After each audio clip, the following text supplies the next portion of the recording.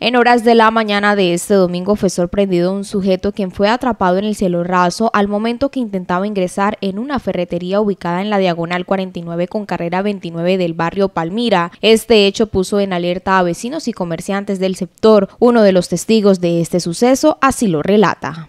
En la esquina del barrio Palmira de la diagonal 49 fue sorprendido un habitante de la calle ingresando a la ferretería que queda al frente de la panadería Cepita. Esta persona al tratar de ingresar queda atrapado a la altura de la cintura y al no poderse mover o ingresar del todo empieza a pedir eh, auxilio, pedir ayuda y es así como las personas transeúntes llaman al propietario, este abre y la sorpresa que se lleva es que se encuentra esta persona atrapada en la reja de seguridad.